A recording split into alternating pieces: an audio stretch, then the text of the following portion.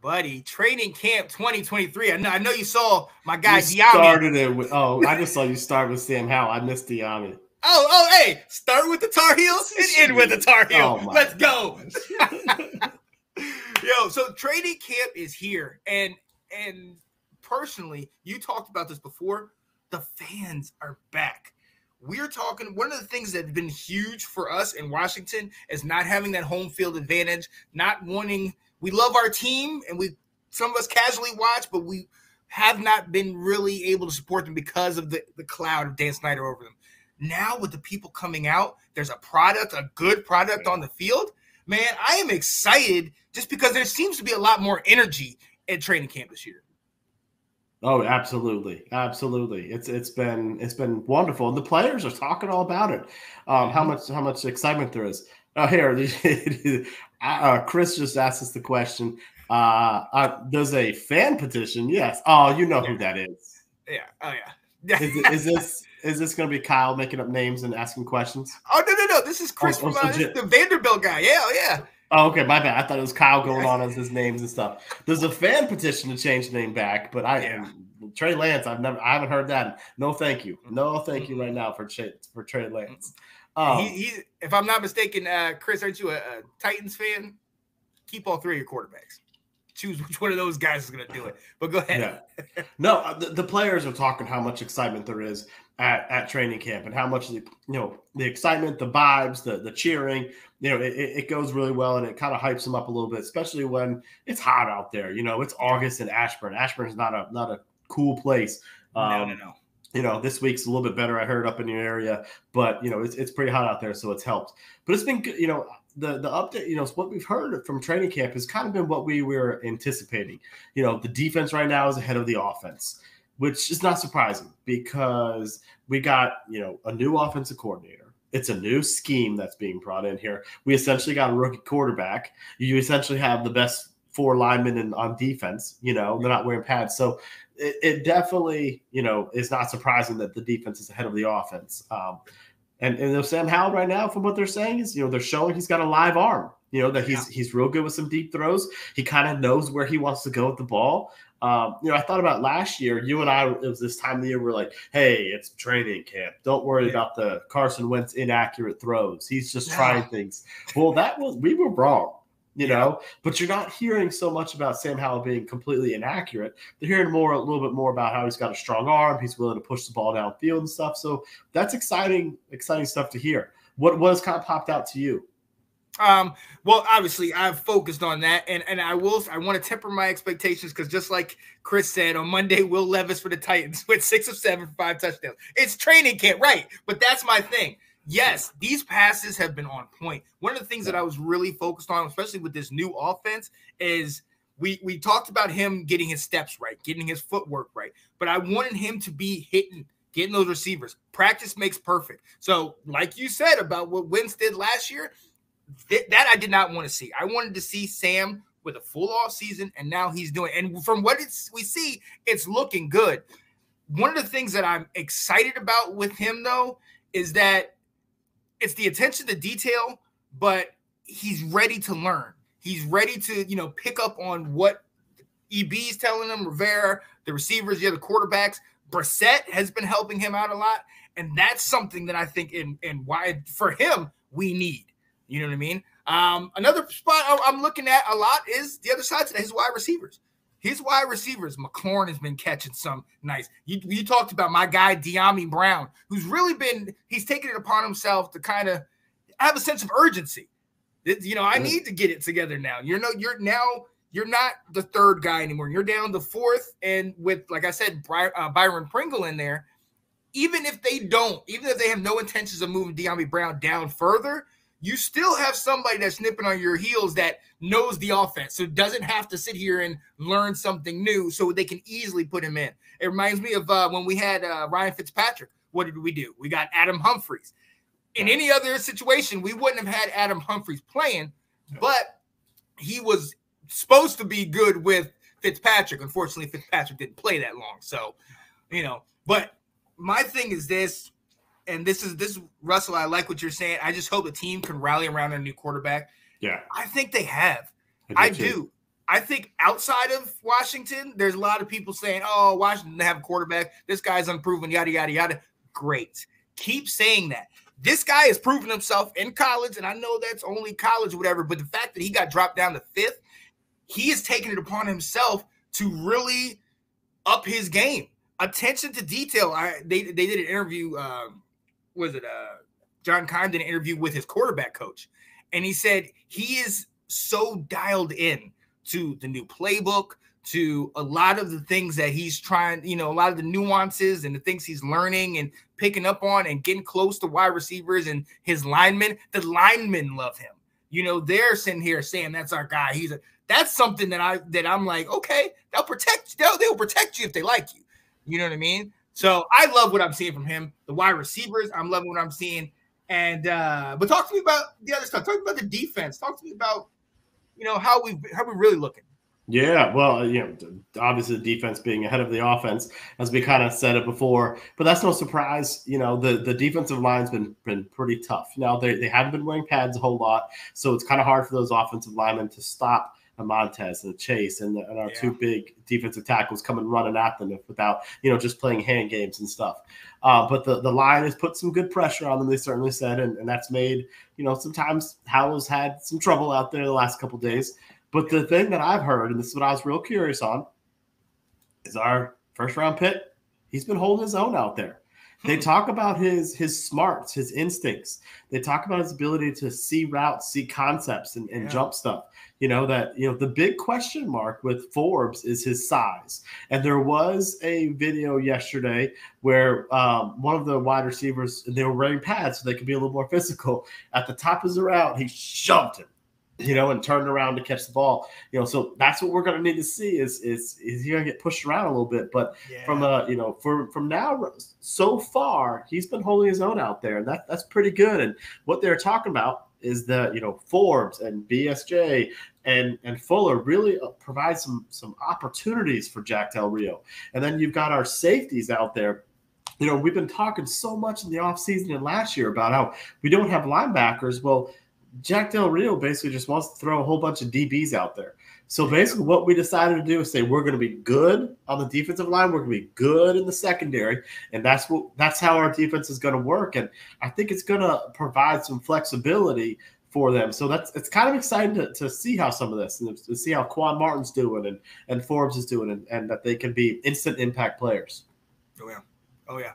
Um, uh, outside, yeah, outside of that, that's secondary has been huge. I've been looking into that. The backfield, my old position, running back. One of the things that I, I really wanted to kind of pick up and see from this is can each of these guys be maybe more of what they're supposed to be? So we know Brian Robinson is a bruiser. One of the things that I don't I know if you noticed uh, last week, he had one of the catches of the day a one hand over his shoulder catch and you know was able to release from the defender. That's something I didn't know that was in his game. You know, yeah. we didn't we, we, didn't really utilize him because we had you know uh, big a lot of wide receivers and Antonio Gibson. But I think that's something that if he can start with that and get him out into the open, we already know how how much of a bruiser he is. But if we can we can get him into space and you know going up against one maybe one or two guys, he's the first guy's not bringing him down. And then on the flip side, Antonio Gibson.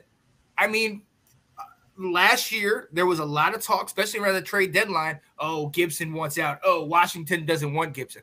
I don't feel that way at all. I've always wanted him. Number one, I want that two running back system, but two, Gibson has been the guy that once you put him out in space, Gibson is going to get you, he's gonna he's gonna make people miss but he's a threat out in space. We've yeah. seen they put him at return man last year when we needed it because Dax Milne wasn't getting it done. And right. he opened it up. He's given us 10, 15, you know, maybe even 20 yards better of field position because of what he's able to do. And he makes that defense step back because now they have to pay attention to where he is either in the return game or at, at running back. But now him kind of leaning, and I've heard they're kind of talking about him potentially being a third down back and getting him. You know, we know EB loves the screen screen game. We yeah. know he likes to get it out to those running backs quick and get them get uh, going upfield. I can really see Antonio Gibson having a big year this year because of how he's going to be utilized in this offense, and, I, and I'm I'm all for it. I'm, I'm excited about it. Me too. Me too. I love the fact that they want to get both those running backs involved in the in the, in the passing game, and just to you know, so someone like Brian Robinson doesn't seem so one dimensional. So I'm I'm yeah. thrilled with it. And you, you said it. The the the star of training camp right now is EB. I mean, he pushes players. I even heard today he yes. yelled at some refs. Like he is yep. all about a tempo, and and some refs were out there and they were trying to explain what they called. He was like, "We got it. Get out of our way. Let us go." you know, yes. He doesn't want to waste any time out there, and I love that. I love that urgency that he's saying. And I think I heard on, on one of the maybe the first days with pads. excuse me, he didn't like what the offense was doing or the timing. He was like, "Get off the field." Yes, like, bring me a right. new set. You know, and it's like so, you know, they, they always use that model. You, you practice, you know, you, how you practice is going to turn into how, how, you play stuff. I'm kind of uh, messing that up right now. But it's like, I love the fact that he's making them practice with a sense of urgency. And, and you know, it's a long way before week one. It's a long way before week 17, yep. week 18. And yep. it matters. But these are some good changes that we've seen out there. Oh, yeah. Oh, yeah. Um, yeah. Uh, Russell was saying, I don't think they use Gibson – uh, to his strengths in the past. Hopefully not anymore. I completely 100% agree. agree. Yes. Yeah. And so that's why we're hoping that with Eric Bieniemy's new offense and you know things that they did in Kansas City, they use those running backs. You yeah. talk about Jer- uh, McKissic. You talk about uh, Pacheco. You know what I mean? Those guys might not have been um, household. Not McKissic, McKinnon. Those McKinnon, guys might yeah, not have been uh, household names, but look at the Super Bowl the that running game started to pick up, they yeah. were able to get back in that game, um, the Chiefs. So EB knows what he's doing. Uh, what's going on? Candy saying, uh, "What's the new name?" Right now, we're the Commanders. Okay, and let's let's let's just win. Let's win. we discussed that a little earlier. Are they going back to the Redskins? What are they going to change it to? I don't know if we. I don't know if we as fans have it in us to go through that again. Cool. So let's just get a W. Yeah. and Giant DMV Commandos. Hey, we'll see. So, hey, training camp. Any anything else that has caught your eye? I like what you said about EB because I think he's going to be a difference maker. If not for anything else, we mentioned culture earlier. He is put a sense of urgency on this team, and yeah. it's it's not tomorrow, it's not next week, it's right flipping now. Let's get it going.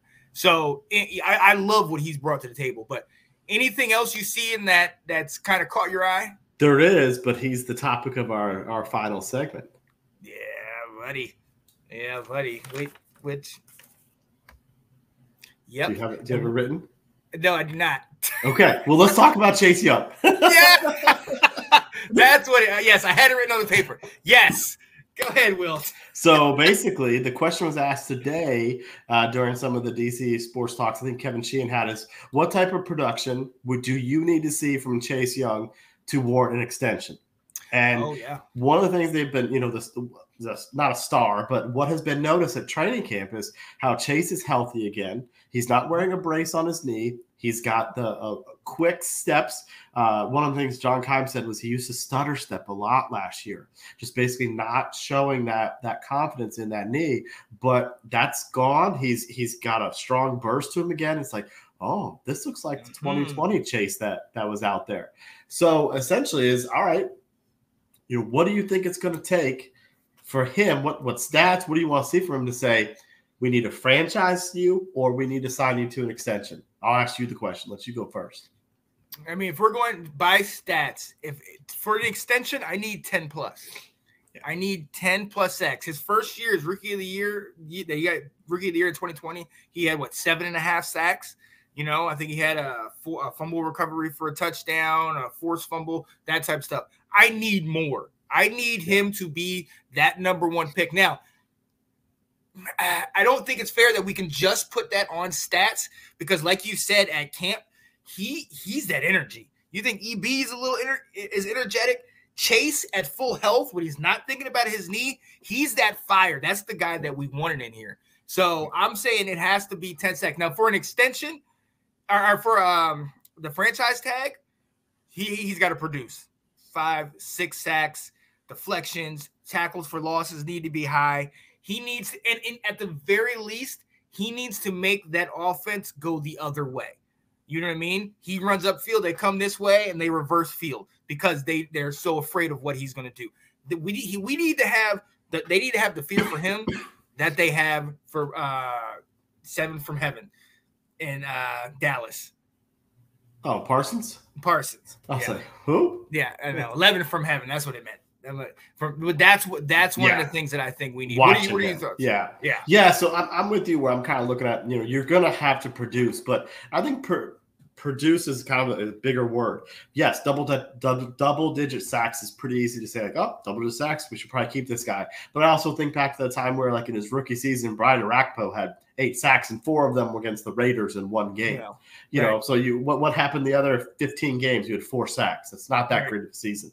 You know, so you got to kind of watch what numbers are. But the bigger one would be similar to when we re-signed Jonathan Allen and or we talked about re-signing it and Jack came on and said, you know, he was number three either among all defensive linemen in, in percentage of pressures on the quarterback. Yeah. You know, so that like that to me is a even bigger stat than did you finalize the play is are you making an impact on the play? Right. And that could be something where, hey, we've got four guys there that can get to the quarterback. So if if to throw out there, hey Chase, you better give me 10 sacks or else we're not going to sign you. Well, what if he's putting enough pressure that somebody else is eating because of it? That's you true. know, so is it, you know, could impact plays could be just as effective, you know, right. or is or is his pressure forcing the quarterback to throw early, and Forbes is getting interceptions. Exactly. You know, so it, it's exactly. kind of I'm kind of throwing a whole lot of like stuff that we may not be able to to um, to have good numbers around. But so I think it's more about is he making an impact again the way he did in 2020?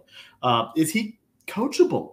He yeah, was not huh. in 2021. Huh. You know, those eight games before he got hurt, he was not being coachable. He was doing his own thing. He was doing the LaVar Arrington stuff out there yeah. that Gregg Williams was like, get out of here. I don't need this. Um, and then finally, he's got to show that he can be healthy. He's got to play in over about 14 games.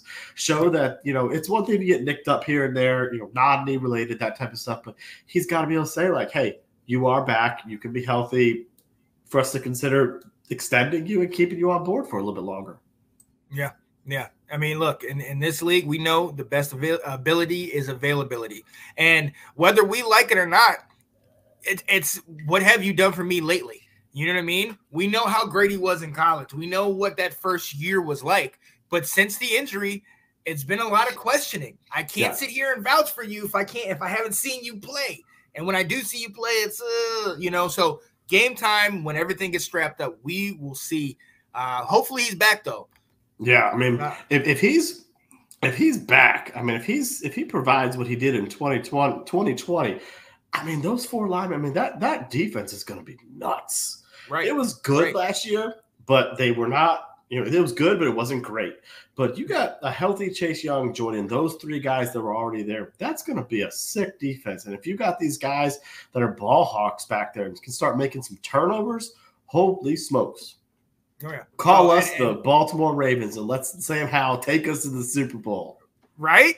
and I, I think this, I think what Russell's saying is actually perfect. He said, I like Chase, but Sweat is a beast and a long wingspan. But yeah. more importantly, this one, his Chase only downfall is that he goes wide and too deep into the backfield.